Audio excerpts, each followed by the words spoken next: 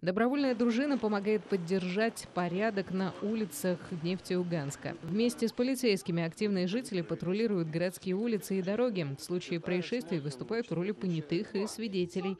Поквартирные обходы дебаширов, проверка питейных заведений, патруль автомобильных дорог. Помимо этого, в обязанности дружины входит и дежурство на массовых городских мероприятиях. Добровольная народная дружина Нефтеюганска в этом году отметила свой 20-летний юбилей. Милиционеры и волонтеры появились здесь в советское время. Новую жизнь ДНД подарили городские депутаты в 98-м. Сначала на уличное дежурство выходили казаки. Сейчас вступить в добровольную народную дружину может любой желающий Нефтеюганска. Сейчас в Нефтеюганске 110 дружинников. Все-таки пример не только для всех, скажем так, но и для своих детей, которых растим.